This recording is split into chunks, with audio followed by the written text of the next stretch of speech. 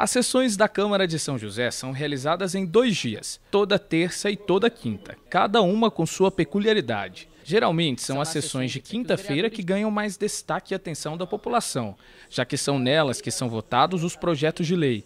Mas as sessões de terça-feira também são muito importantes. E a gente te explica por quê. São nas sessões de terça que os vereadores discutem sobre assuntos importantes para a cidade e apresentam informações de interesse público que vão impactar no seu dia a dia.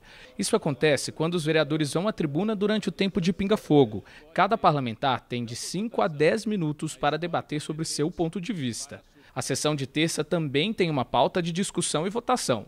Só que, ao invés de projetos de lei, são apreciados documentos, como indicações, moções, requerimentos e aqueles chamados diversos.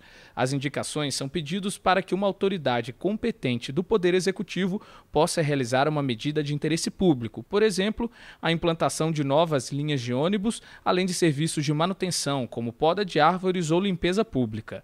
Os requerimentos, ao contrário toda, das indicações, pedem a adoção de alguma providência da Prefeitura ou informações sobre assuntos de interesse público. O pedido para instalação de postes nas ruas da cidade é um requerimento, assim como o pedido de dados específicos sobre serviços disponibilizados pelo município. As moções são manifestações de apoio, pesar, protesto ou repúdio a algum acontecimento de relevância para a sociedade. Já os diversos são, em grande parte, documentos da administração interna da Câmara.